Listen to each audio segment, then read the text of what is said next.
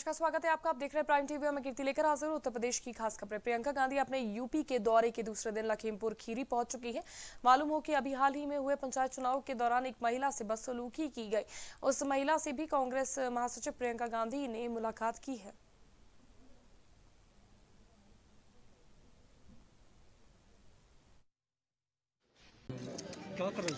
एक, उन्नीस साल का लड़का भी है, जो अनीता जी के साथ था। उनका पूरा परिवार था। और उनके साथ इतना इस तरह से अत्याचार हुआ है किसी ने रोका नहीं? जिस जिस एक जिस सीओ ने उनको बचाने की कोशिश की उनको सस्पेंड कर दिया आपने। बाकी अधिकारी जो खड़े थे उनको कुछ नहीं किया। प्रशासन मौन है। और तो चुनाव रद्द कर दिया जाता है। दोबारा से चुनाव होता है। तो चुनाव दोबारा से क्यों नहीं हुआ है? क्यों नहीं हुआ है? क्या इनको अधिकार नहीं है चुनाव लड़ने का? क्या कोई आके दस गुंडे को लेके मारपीट करके चुनाव जीत सकते हैं? क्या ये है हमारा लोकतंत्र आज? तो हमें ये पूछने की ज़रूरत है। आप लोगों को सवाल उठाने चाहिए। पूरा वीडियो है बाकायदा सब कुछ दिख रहा है कि क्या हुआ है इसके साथ किस तरह से पीटा गया है किस तरह से प्रशासन खड़ा है किस तरह से पुलिस वाले कुछ कर नहीं रहे हैं। एक आध कर रहा है मदद बाकी सारे खड़े हैं। तो क्या आप अपने प्रदेश में यही चाहते हैं देश में ये चाहते हैं कि लोकतंत्र की इस तरह से धजिया उड़ाई जाए?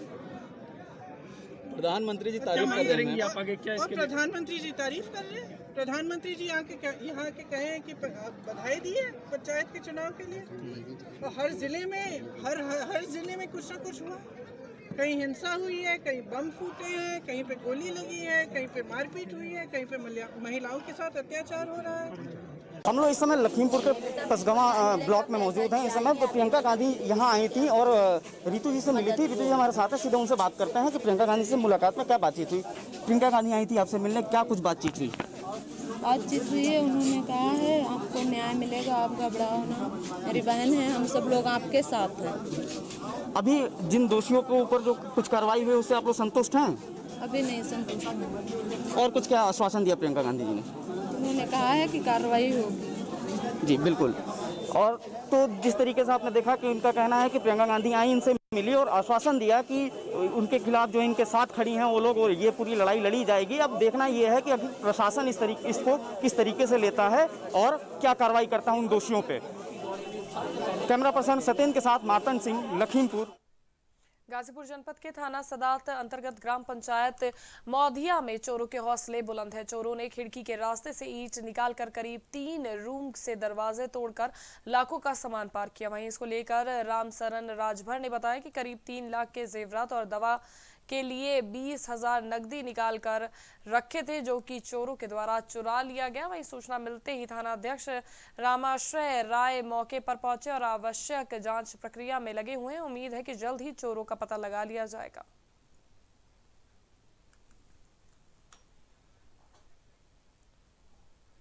कौशाम्बी बारा ब्लॉक अंतर्गत ग्राम प्रधान अवाना को धमकियाँ मिल रही हैं। पंचायत मित्र द्वारा कई बार नवनिर्वाचित प्रधान को धमकी देने का मामला सामने आया है, उस जिसके बाद पंचायत मित्र अवाना आलमपुर प्रमोद यादव द्वारा अपने मनमानी ग्राम विकास का पैसा निकालने का आरोप है। पूर्व प्रधान में भी पंचायत मित्र ने घोटाले किए जाने का आरोप लगाया है।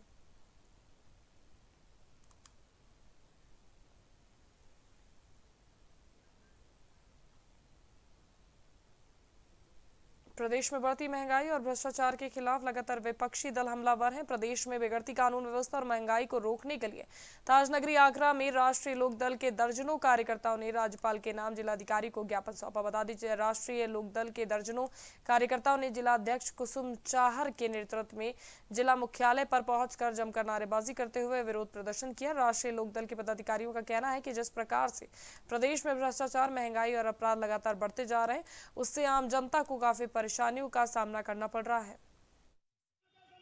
देखिए, हमने महँगाई के विरोध में ज्ञापन दिया है। जैसा कि आप देख रहे हैं, महँगाई चरम सीमा पर है। जिस तरीके से हर चीज़ में जो है, इनकी जो है, इतनी मक्कारी बीजेपी चल रही है, इनका हम घोर विरोध करते हैं। जैसा कि जिला पंचायत चुनाव में महिलाओं का चीरहरण किया और उसके पीछे कोई कार्रवाई नहीं हो रही है।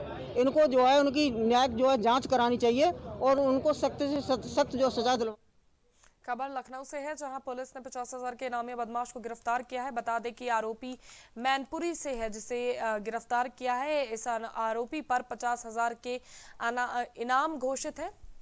लंबे समय से ये अपराधी फरार चल रहा था, जिसके खिलाफ पचास हज़ार का इनाम घोषित किया गया था। तो आखिरकार आरोपी को 12 साल से के बाद पुलिस ने गिरफ़्तार कर लिया है। पुलिस ने आज आशियाना क्षेत्र से इस इनामी बदमाश को गिरफ़्तार करते हुए जेल भेज दिया है।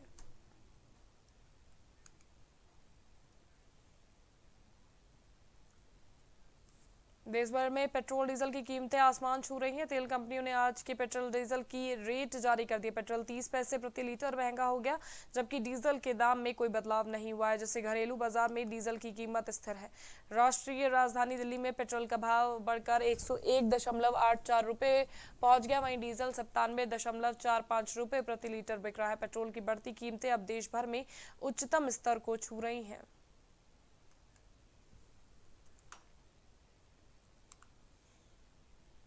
भारत में कोरोना संक्रमण के नए मामले की स्थिति स्थिर बनी हुई है। हर दिन करीब चालीस हज़ार नए केस सामने आ रहे हैं। शनिवार सुबह को स्वास्थ्य मंत्रालय की ओर से जारी आंकड़ों के अनुसार पिछले 24 घंटों में अड़तीस हज़ार नए केस कोरोना के सामने आए। 560 संक्रमितों की जाँच चली गई। इससे पहले शुक्रवार को अड़तीस और गुरुवार को इकतालीस नए केस आए थे। वहीं पिछले चौबीस घंटे में तिरालीस लोगों कोरोना से ठीक हुए। कोरोना पॉजिटिविटी केस भी चार लाख से ज़्यादा है। एक्टिव केस इस वक्त वहीं चार लाख चौबीस हज़ार लोग अभी भी कोरोना से संक्रमित हैं, जिनका इलाज चल रहा है।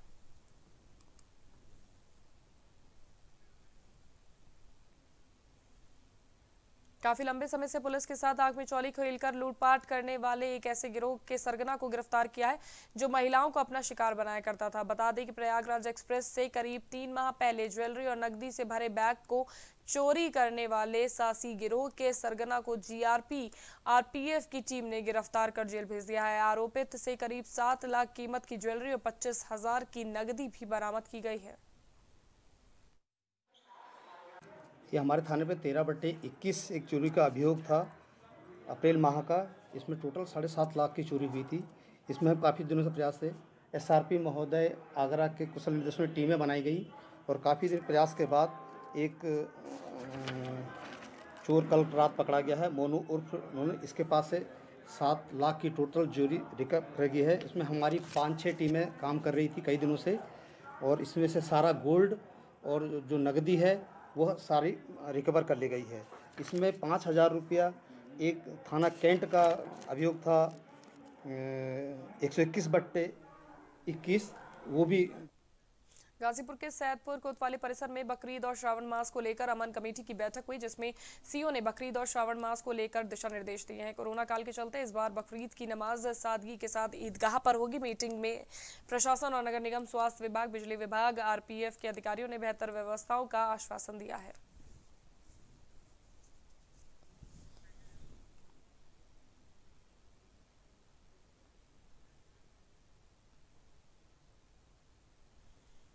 यूपी में बेरोजगारी का सिलसिला लगातार जारी है। आए दिन बेरोजगारों को लेकर अभ्यर्थी धरना प्रदर्शन करते हैं। वहीं पिछले कई दिनों से शिक्षक भर्ती के अभ्यर्थी और पुलिस भर्ती के अभ्यर्थी प्रदर्शन कर रहे हैं। अपनी कई सारी मांगों को लेकर अभ्यर्थी प्रदर्शन कर रहे हैं। कभी- करीब दो सालों से अभ्यर्थियों का लगातार प्रदेश में प्रदर्शन चल रहा है। इस पूरे मामले की जानकारी आइए आपको दिखाते हैं हमारी इस खास रिपोर्ट में। योगी जी न्याय दो। न्याय दो न्याय दो। आरक्षण का घोटाला नहीं चलेगा नहीं चलेगा। नहीं चलेगा। मंत्री जी। न्याय करो न्याय करो। माननीय बेसिक शिक्षा मंत्री जी। उत्तर प्रदेश में पिछले साल बेसिक शिक्षा विभाग ने उनहत्तर हज़ार शिक्षकों की भर्ती की थी। पिछले कई दिनों से लखनऊ के एस यानी state council of educational research and training में पूरे उत्तर प्रदेश से इकट्ठा हुए अभ्यर्थी प्राथमिक शिक्षक भर्ती की मांग कर रहे हैं। इनकी दो मांगे हैं। एक तो आरक्षण को लेकर ये प्रदर्शन कर रहे हैं, वहीं खाली पद भर्ती को लेकर भी अभ्यर्थी प्रदर्शन कर रहे हैं। पिछले साल मई में उत्तर प्रदेश सरकार ने उनहत्तर हज़ार शिक्षक भर्ती मामले पर सुनवाई के दौरान सुप्रीम कोर्ट में एक हलफनामा दिया था। इसके अलावा एक आरटीआई के मुताबिक प्राथमिक शिक्षकों के करीब एक दशमलव सात लाख पद खाली हैं। आपको बता दें कि इसको लेकर शिक्षक भर्ती के अभ्यर्थी आए दिन कहीं न कहीं प्रदर्शन करते रहते हैं। वहीं इसी को लेकर 13 जुलाई को ये अभ्यर्थी बेसिक शिक्षा मंत्री सतीश द्विवेदी के आवास पर पहुँच गए। वे मंत्री से मुलाकात करना चाहते थे, लेकिन वहाँ मौजूद पुलिसकर्मियों ने अभ्यर्थियों को हटाना शुरू कर दिया। अभ्यर्थियों का दावा है कि जब उन्होंने वहाँ से जाने से इनकार कर दिया तो उनके साथ पुलिस कर्मियों ने गाली गलौज भी की। आखिर कब तक युवा रहेंगे बेरोजगार? यूपी में कब तक रहेगी बेरोजगारी? क्या यूपी सरकार पूरी तरह है विफल? वहीं आरक्षित वर्ग के अभ्यर्थियों का आरोप है कि इसमें आरक्षण घोटाला हुआ है। अभ्यर्थियों का कहना है कि ओबीसी वर्ग को इस भर्ती में 27 फ़ीसदी की जगह 4 फ़ीसदी से भी कम आरक्षण मिला।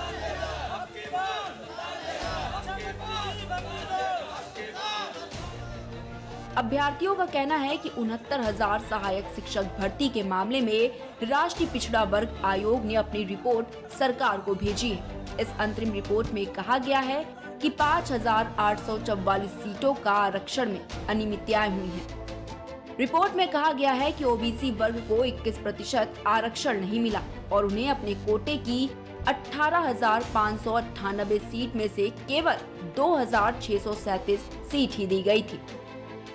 हालाँकि सरकार ने अब तक इस रिपोर्ट पर कोई जवाब नहीं दिया है। अभ्यर्थियों की मांग है कि इस भर्ती में राष्ट्रीय पिछड़ा वर्ग आयोग की रिपोर्ट को लागू किया जाए। साथ ही जिन अभ्यर्थियों ने राष्ट्रीय पिछड़ा वर्ग आयोग में शिकायत दर्ज कराई है, उन सभी को इस भर्ती में शामिल किया जाए। साथ ही उन अभ्यर्थियों को भी शामिल किया जाए, जो इस मामले में हाई कोर्ट पहुँचे हैं। रोज़गार के नाम पर राजनीति। बेरोजगारी का सिलसिला लगातार जारी। क्या अभ्यर्थी के प्रदर्शन का कुछ हो रहा है फ़ायदा? कब तक अभ्यर्थी करते रहेंगे प्रदर्शन? अब अगर पुलिस भर्ती परीक्षा की बात करें तो उत्तर प्रदेश सरकार की ओर से पुलिस भर्ती परीक्षा का नियुक्ति पत्र जारी होने के बाद भी अभ्यर्थियों का मेडिकल परीक्षण और ट्रेनिंग न होने को लेकर प्रदेश में बवाल मचा है। अभ्यर्थियों ने सोशल मीडिया पर प्रदेश सरकार के खिलाफ मोर्चा खोल दिया है।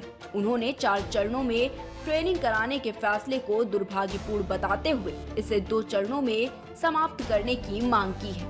आपको बता दें कि सिपाही भर्ती 2018 के अभ्यर्थी अपना मेडिकल परीक्षण कराने को दो साल से परेशान थे। जिसमें से उनचास हज़ार पाँच सौ अड़सठ सिपाही भर्ती के अभ्यर्थियों को कोरोना काल में मेडिकल परीक्षण और ट्रेनिंग के लिए नहीं बुलाया गया। पहले चरण में सिर्फ़ चौदह हज़ार सिपाहियों का चयन हुआ था। वहीं दूसरे चरण में सत्रह हज़ार तीन सौ साठ सिपाहियों का मेडिकल परीक्षण कराया गया। Output desk, prime TV.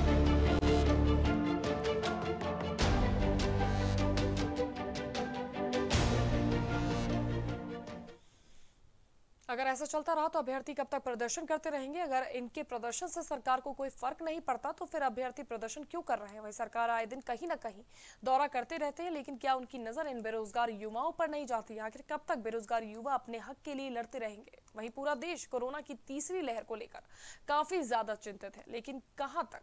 ये खुद में एक बड़ा सवाल है, क्योंकि जिस तरह से लोग लापरवाही बरत रहे इससे साफ़ ज़ाहिर हो रहा है कि कोरोना की तीसरी लहर को लेकर लोग कितने ज़्यादा चिंतित हैं। बात अगर उत्तर प्रदेश की करें तो ये राज्य भी इस मामले में पीछे नहीं है। यहाँ के लोग भी कोरोना की तीसरी लहर आने से पहले आनंद उठाने में पीछे नहीं रहना चाहते। लोग जिस तरह से बेखौफ होकर बाज़ार हाटों में घूम रहे हैं, उससे कोरोना की तीसरी लहर को बेशक दावत मिल रही है। यूपी में कैसे थमेगा तीसरी लहर का खतरा? न मास्क है, न सोशल डिस्टेंसिंग, न ही सैनिटाइजेशन। क्या लोगों को नहीं है कोरोना का खौफ? कोरोना की नज़र, लेकिन लोग बेखबर। लोगों में लापरवाही, कहीं पड़ ना जाए भारी। न मास्क न सोशल डिस्टेंसिंग न ही सैनिटाइजेशन क्या तीसरी लहर से यूपी बच पाएगा? गलियों से लेकर चौराहों तक, घर से लेकर बाजारों तक, अगर लोग दिखते हैं तो वो बेखबर। शायद कोरोना की तीसरी लहर को लेकर लोगों में कोई खौफ नहीं बचा है। यही वजह है कि लोग इस हद तक लापरवाही बरतते हुए नज़र आते हैं। एक तरफ़ यूपी सरकार कोरोना को लेकर काफ़ी चिंतित है लगातार टीम नाइन की बैठकें होती हैं, जिसमें बड़े से बड़े अधिकारियों को निर्देश जारी किए जाते हैं। लेकिन क्या वाकई में इन निर्देशों का पालन होता दिखाई पड़ रहा है? क्योंकि बाज़ार हाटों की बात करें तो लोग बिना किसी डर के एक जगह भीड़ लगाते हैं। न ही उनके मुँह पर मास्क रहता है, और न ही तो आसपास सोशल डिस्टेंसिंग नाम की कोई चीज़। ऐसे में बड़ा सवाल यह है इस तरह की लापरवाही अगर बढ़ती जाएगी तो कोरोना के नए वेरिएंट से हम कैसे बच सकेंगे? इसका जिम्मेदार आखिर कौन होगा? प्रशासन होगा या फिर आम लोग होंगे? क्योंकि न ही प्रशासन नियमों का पालन करवा पा रहा है और न ही लोग नियमों का पालन करना चाहते हैं। ऐसे में जिम्मेदार किसे ठहराया जाए? शायद लोग भूल चुके हैं कि कोरोना ने किस तरह कहर बरसाया। शमशान घाटों पर शवों की कतारें लगी थी। अस्पतालों में न ही मरीजों को बेड मिल पा रहा था। न ऑक्सीजन और न ही इलाज। ये तस्वीरें सालों पुरानी नहीं, बस कुछ महीने पहले की है। कोरोना के कहर ने लोगों को इस तरह परेशान कर दिया था कि लोग अपने घरों से बाहर निकलने में भी डर रहे थे। लेकिन जिस तरह हालातों में कुछ सुधार हुआ, वैसे ही लोगों के दिलों से कोरोना का डर भी शायद खत्म हो गया।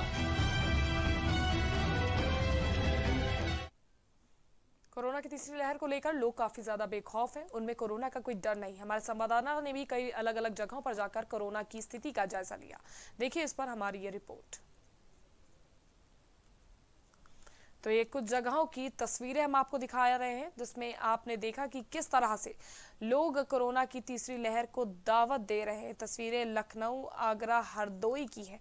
अगर इसी तरह की लापरवाही देखने को मिलेगी तो वो दिन दूर नहीं। जब कोरोना की तीसरी लहर हाहाकार मचा देगी। ऐसे में ज़रूरत है कि हम सबको सतर्क रहने की और प्राइम टीवी भी आपसे यही अपील करता है कि कोरोना की तीसरी लहर को लेकर सचेत रहे। जिस तरह की लापरवाही आप इन तस्वीरों में देख रहे हैं, बिना मास्क लगाए लोग घरों से बाहर निकल रहे हैं। सोशल डिस्टेंसिंग का पालन नहीं कर रहे क्योंकि सरकार की ज़िम्मेदारी सारी है, ये लोग समझ लेते हैं। ये तस्वीरें आप देख सकते हैं कि ना मास्क लोग लगाए हैं, ना सोशल डिस्टेंसिंग का पालन कर रहे हैं और इस तरह की लापरवाही तीसरी लहर को दावत दे रही है।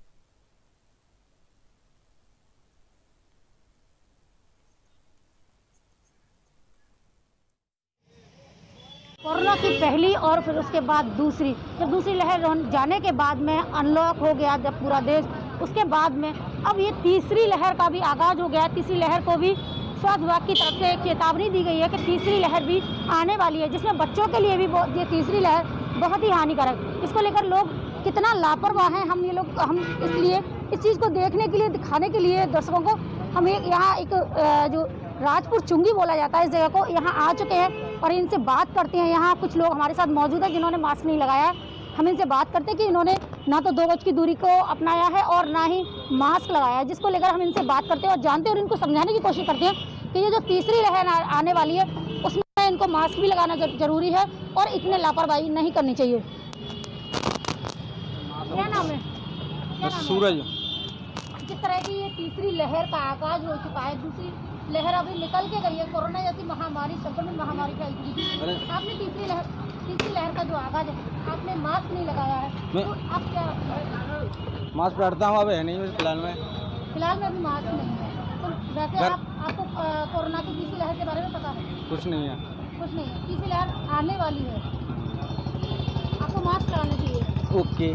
आप आगे से मास्क लगाएँगे ओके। यह हमारे साथ ये भैया एक मौजूद हैं जिन्होंने मास्क लगा रखा है और हम इनसे बात करते हैं और ये बताते हैं कि इन्होंने मास्क लगा लगा रखा है और ये किस तरह नियम को फॉलो कर रहे हैं? क्या नाम है आपका? मेरा नाम देवेंद्र सिंह आपने मास्क लगा रखा है? आप हर जगह मास्क क्यों लगाए रखे हो? इसलिए लगा रखे हैं कि ये सरकार का पालन करना चाहिए। उन्होंने कहा है जैसे मानना चाहिए क्योंकि पहली लहर में लापरवाही दी तो दूसरी लहर में सबको पता चल चुका था कि बहुत खतरनाक बीमारी है। अब सरकार आके मास्क तो नहीं लगाएगी, ये तो हम लोगों को सोचना चाहिए कि इसके बारे में हमें मास्क लगाना चाहिए, दो गज की गज की दूरी रखनी चाहिए। और गवर्नमेंट तो बहुत कुछ अच्छा काम कर रही है, उसको हम पालन नहीं करेंगे तो इससे बड़ा तो हमारे लिए होगा नतीजा। हम तो चाहते हैं कि सभी लोगों को कहें मास्क लगाएँ और इसका पालन करें, दो गज की दूरी करें और इससे बढ़ के उन्हें ज़्यादा दोबारा खतरनाक बीमारी आ सकती है और हम उसको नोता दे रहे हैं बगैर मास्क लगाएँ और उसको दोबारा आ सकती है, दोबारा आ सकती है। इसमें सरकार का कोई गलती नहीं है। ये तो आम जनता अपने आप अपने आप पर आपकी, तरफ़ से जनता को क्या संदेश है कि मैं तो यही कहूँगा जनता जनता से कि आप मास्क लगाएँ और इसका पालन करें दो गज की दूरी रखें और बढ़िया अच्छे से रहे अपना खान पीने का ध्यान दें सैनिटाइज करें और जो गवर्नमेंट का पालन है उसका सबका ध्यान रखें। तो ये हमारे साथ एक भाई ऐसे मौजूद थे जो कि जिन्होंने मास्क पहले से लगा रखा था। हमने इनसे बात की कि इन्होंने मास्क तो लगाया है और किस तरह से सरकार की जो गाइडलाइंस था, उसका पूरी तरह पालन कर रहे थे? तो आपने तस्वीरें देखी कि किस तरह से लोग एक बार फिर लापरवाह होते जा रहे हैं और यही लापरवाही तीसरी लहर को एक बार फिर दस्तक देगी। तो ज़रूरत है आपको कि कोरोना प्रोटोकॉल्स का पालन करें और साथ ही साथ क्योंकि सारी ज़िम्मेदारी सरकार की नहीं होती है तो सोशल डिस्टेंसिंग मास्क और सैनिटाइजर का प्रयोग करते रहे। फ़िलहाल के लिए बस इतना ही। फिर हाजिर होंगे। स्वस्थ रहिए, सतर्क रहिए और देखते रहिए प्राइम टीवी